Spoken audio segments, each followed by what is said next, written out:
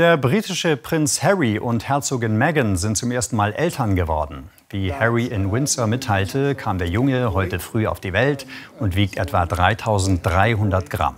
Mutter und Kind gehe es gut. Über einen Namen dächten sie noch nach.